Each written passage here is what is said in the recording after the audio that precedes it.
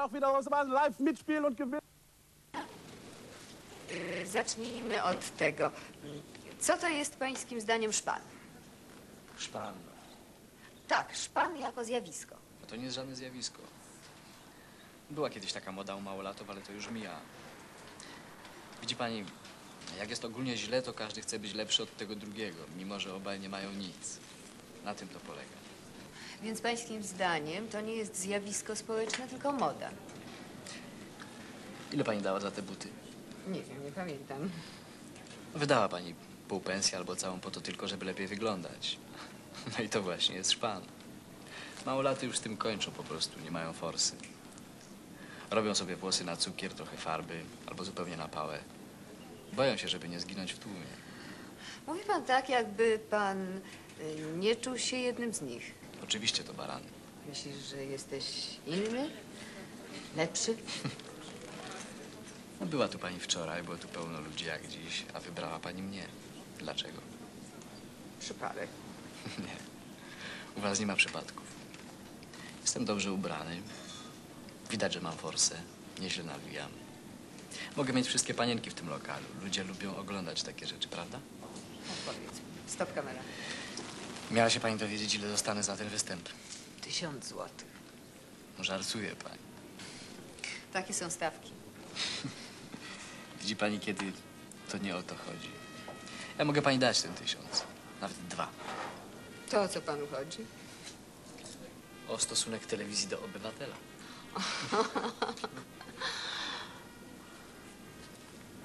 Hej, Kto to jest? koleżanka. To jest jakieś wyjście. Pani mi, mi da ten tysiąc i zaprosi mnie pani na kolację. Z tą pani koleżanką. Zgoda?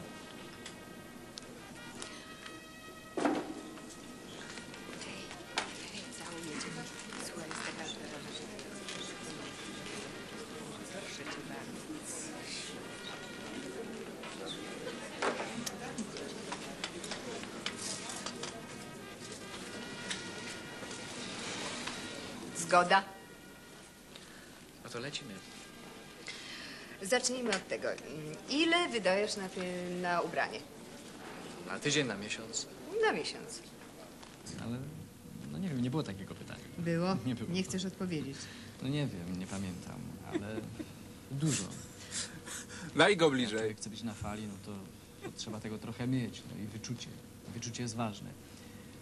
Nie można się ubrać za drogo, no bo można czasem... Olek, panienkę zobacz, jaki wystraszyć. aparat. U nas ludzie mają jeszcze takie głupie przesądy. Studenci na przykład. No też chcieliby mieć szmal, no chcieliby, ale naczytali się w tych swoich książkach, że to wszystko w życiu nieważne, że, że są ważniejsze sprawy, że nie o to chodzi. No wie pani, no, bałagan w głowie kompletnie. Żeby taką wykształconą lalę zblatować, to się czasem człowiek musi strasznie nagadać. A dziewczyny czekają na kogoś takiego. Pokaż ten krzyż, co? A ja przychodzę i pokazuję im życie, o jakim marzyły, jakiego nie znały, o jakim czytały w książkach. No ja muszę wyglądać tak, jak one by chciały, żebym wyglądał.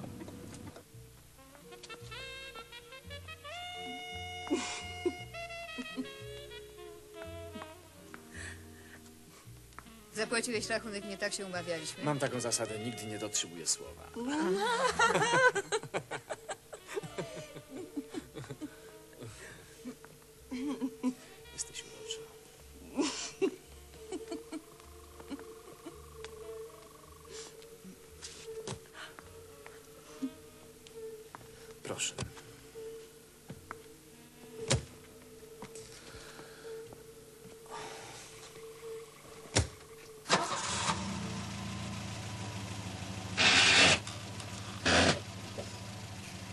Włącz światła, kochanie.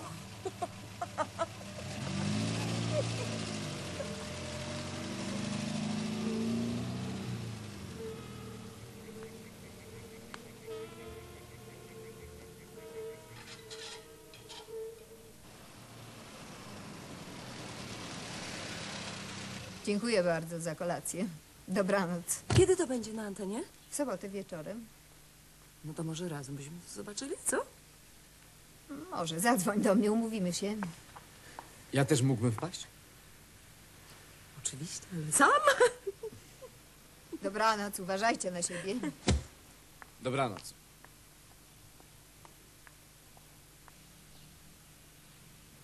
Gdzie ty mieszkasz? Pojedziemy do ciebie. Dalej jakoś trafię. No dobra.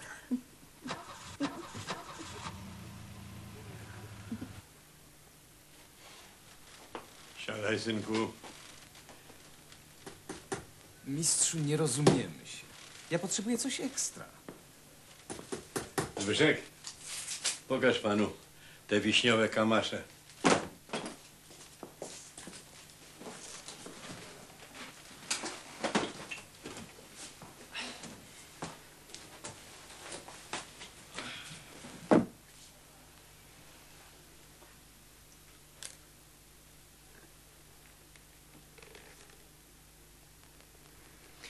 Ten but jest smutny. Chodziłbyś w takim kaloszu? Zbyszku? Dawno się znamy? Jesteśmy jedną wielką rodziną. No to! Tego szukałem, mistrzu, cudo. Wspaniałe. Tylko poproszę tak, zrobimy większy obcasik, dobrze? O, ciut, tyle. I, I tu klamereczkę, złotą, tak jak ten dziubek, dobrze? I cały należy do pana. Piękne. Zadatkuję to cacko, dobrze? Służę. To niech pan po święcie przyjdzie do miary. Dobrze, będę na pewno. Dziękuję. Do widzenia, Zbyszku.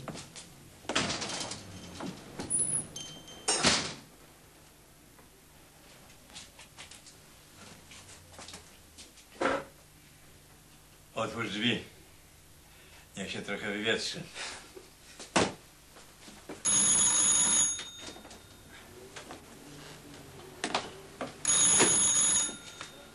Zostaw.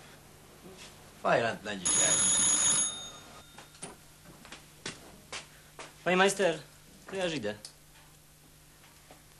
Siadaj, synku.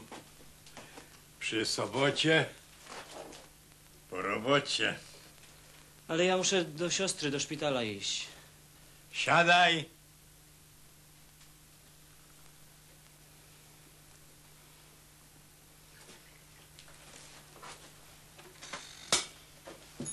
No to zdrowie siostry.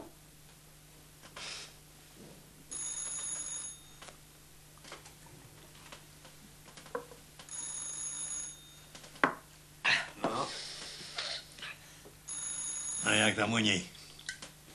Lepiej?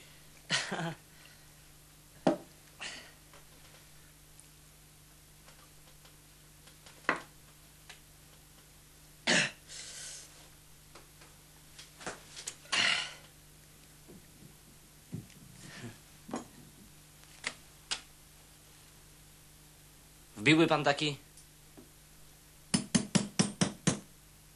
Taki gwóźdź?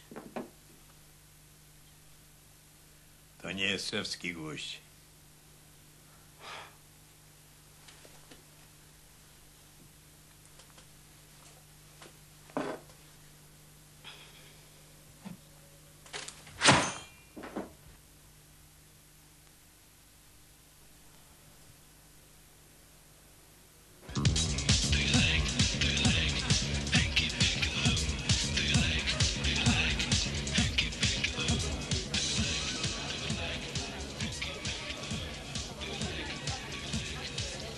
Słucham pana. Yy, kole. Cześć.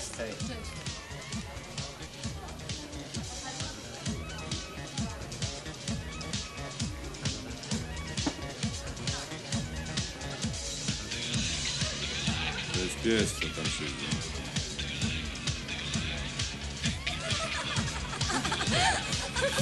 No co za Kola.